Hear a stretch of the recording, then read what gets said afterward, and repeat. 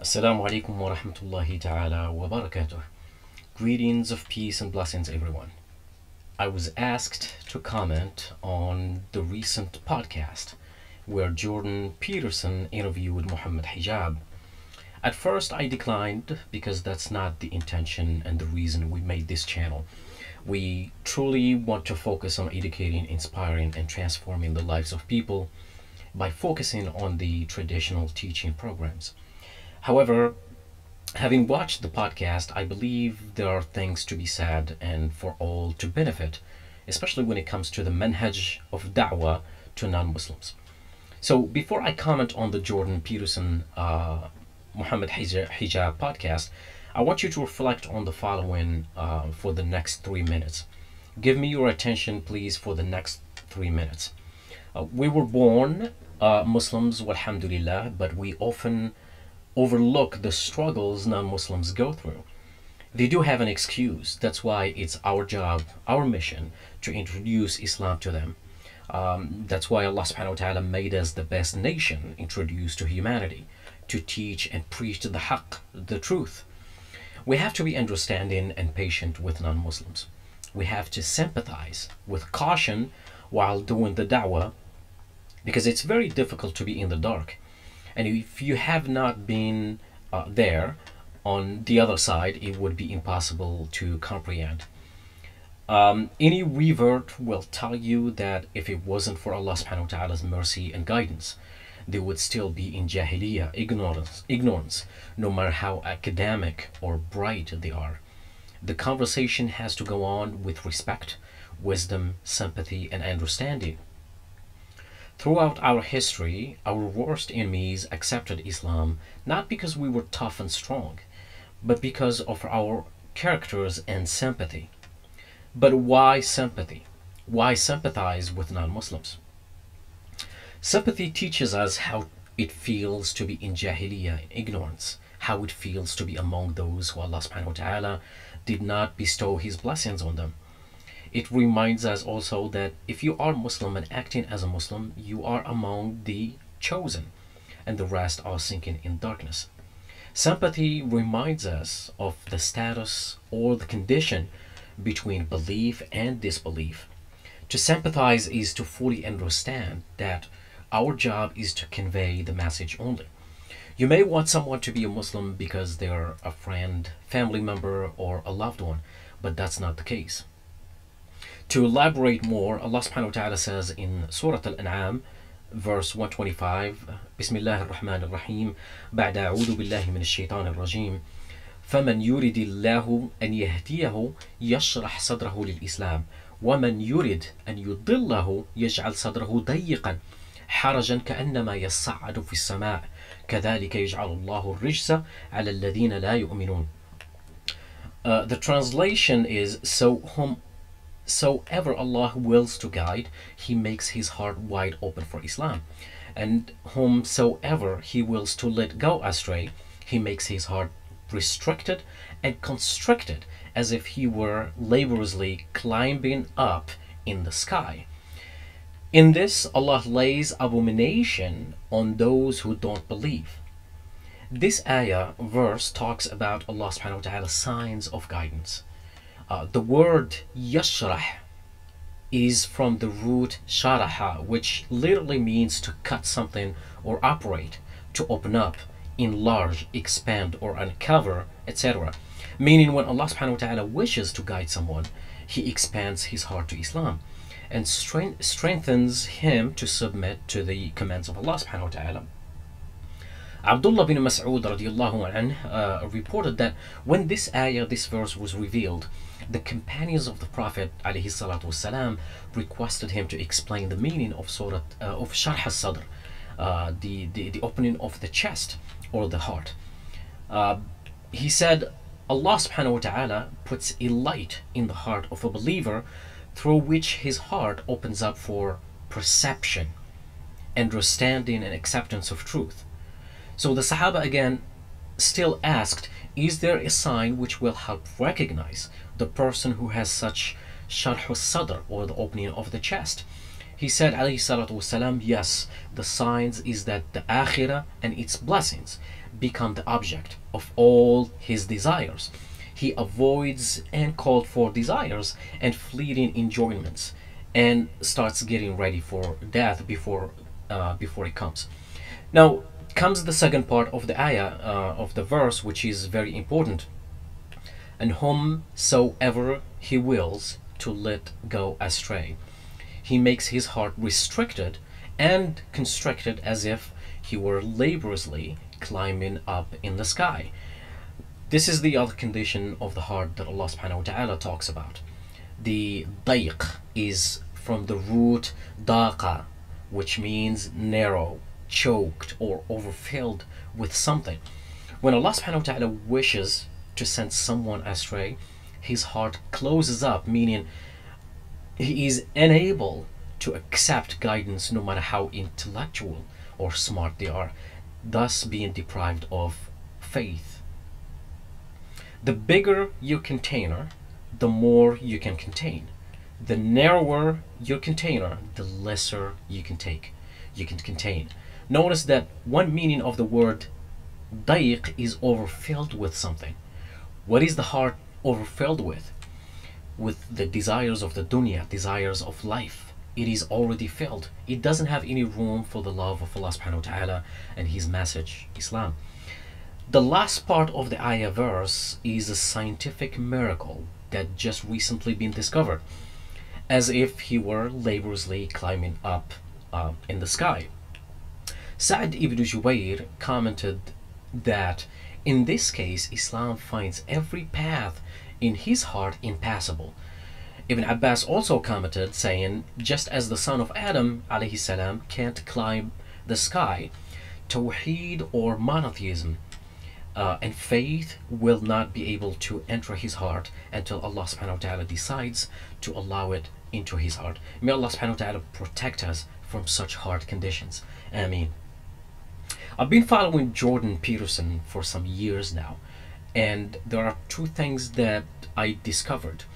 I'm not criticizing Jordan, but I want you to know why Jordan thinks the way he does so that you understand uh, Jordan Peterson. He is a psychologist who sees things from a psychological perspective. He is identified as a conservative, although he's not. In terms of theology, he is not that well versed or read, and he does actually admit admits that. Even some of the finest minds focus too much on the details to the point that they get lost in the details and they miss the big picture. That was the mistake Jordan made at the podcast by asking irrelevant questions and kept interrupting Mohammed Hijab instead of allowing himself the golden opportunity he was granted. And it could be his only life chance to learn about Islam.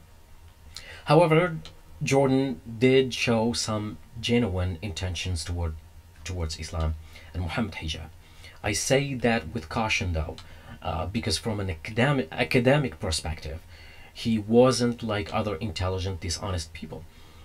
The conversation was very interesting uh, and, and, and good overall. I, I'm glad to see Mohammed Hijab on Jordan's podcast. And as a public intellectual, Jordan had the ability to converse with uh, different type of people.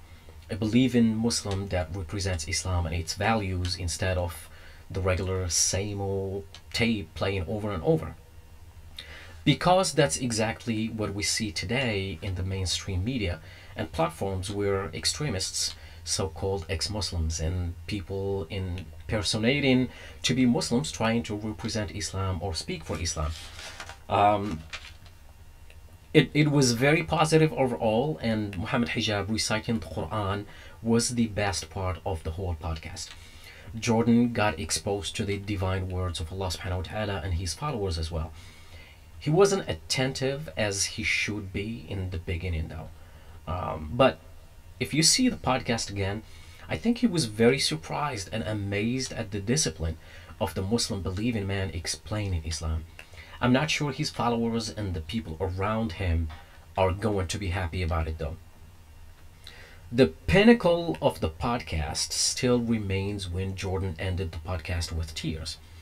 I'm not sure, however, if they are tears of guilt to right his wrongs, especially what he said about Islam and our Prophet والسلام, or tears of shame for having his wrong preconceived idea about Islam and Muslims. I give him credit though for going against all the odds to invite Mohammed Hijab. Um, however, uh, Mohammed Hijab did not waste time in inviting him to Islam. And we should do that in every conversation we have with non Muslims. It's imperative to speak to people in manners of respect and wisdom and cling to the traditional way of calling them to the way of Allah subhanahu wa ta'ala. There is a lot of useless da'wah going, going around, a lot of debating and yelling that's of benef- no benefits to nobody. Uh, while we might win a debate over a thing or two, we could lose the opportunity to get somewhat closer to Allah subhanahu wa ta'ala. Because debating and arguing isn't about winning after all. As with all Jordan's podcasts, he never fails to anger people. And he did actually anger me when he asked Mohammed Hijab, Can't there be peace between Christians and Muslims? I thought to myself, Mohammed Hijab has been a good and a calm kid for an hour now, and he's going to lose his mind. I was anticipating Mohammed Hijab yelling and screaming. I, I don't think Jordan sometimes knows what he's asking. As an academic, he should know better, unless he's just being silly. And, and that's why I question his ability and, and, and how deep his intellect. Another thing that really makes me question Jordan's thoughts is his and unpredictable personality. Um, Islam and the Possibility of Peace is the title that he gave his podcast, uh, this podcast on his YouTube channel. I strongly disagree with, with that statement. It should have been something like how I got it wrong about Islam or the preconceived thoughts I had about Islam. Having said that, um, now let me tell you a bit about Jordan Peterson and you can make your own judgment. And this is independent thought outside of the uh, podcast, but still somehow related to, uh, to the topic. Let's not forget that Jordan Peterson came to fame and publicity right after his confrontation with Cathy Newman, which was full of question marks, uh, pseudo facts, and conspiracy, conspiracy theories. Um, his debate on the gender pay gap, the campus, postmodernism, patriarchy, and his book, The 12 Rules for Life, awarded him the attention he was looking for, especially from the right wing media, describing him as, I quote, the cool, rational man of science uh, facing down the hysteria of political correctness. Jordan thinks of himself as a classic British liberal whose focus is the psychology of belief. Matter of fact, he just released a video yesterday titled Why I Love Great Britain. I'm not sure if you see the controversy here much of what he talks about is very familiar, especially um, his critics of feminism, downfall of masculin- masculinity, and the modern world. M- marginalized groups are infantilized by a culture of victimhood and uh, offense taking. Political correctness threatens freedom of thought and speech. Um, ideological orthodoxy undermines individual responsibility and so forth. You can read this stuff any day of the week and um, perhaps agree with some of it. However, he never follows up on these ideas by speaking about the roots of the problem. We have spoken about the philosophy behind every matter in our previous videos. I think Jordan lacks the philosophy of deeply comprehending these matters. Therefore, he can't address them properly. He can talk about feminism all day long, but he will never tell you the cause of the issue because he is not able to. Or maybe he's he refuses or on purpose. He's like the guy that starts a fire, calls the fire department while he's running away. Intellectuals have um, intellects have criticized Jordan for his inconsistency. Um, example of that when he took a stand against LGBTQ issue by refusing to be forced to use someone's preferred pronouns.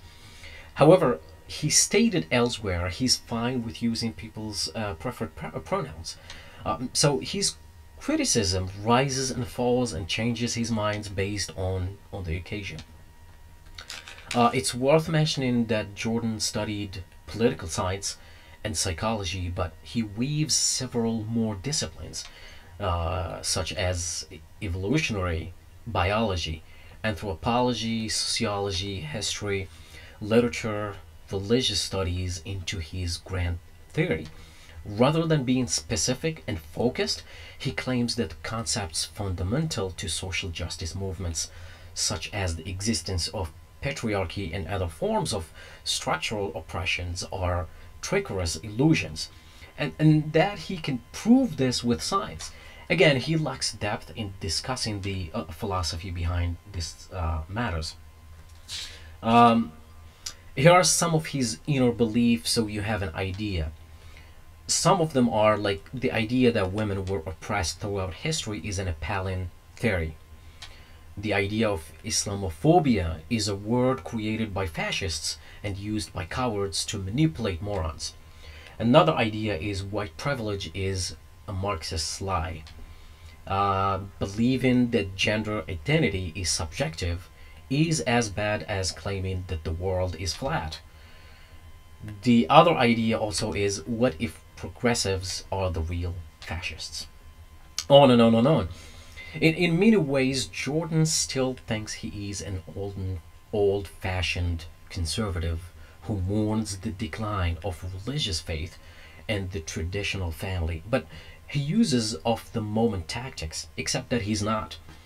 His contempt for identity politics includes what he calls the pathology of racial pride.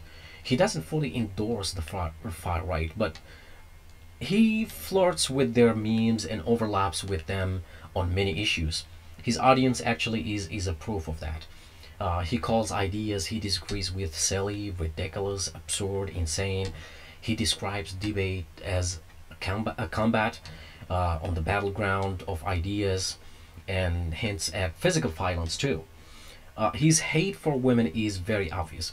And if you watched any of his uh, uh, podcasts, you'll see that, and calls them crazy women because he can't hit them.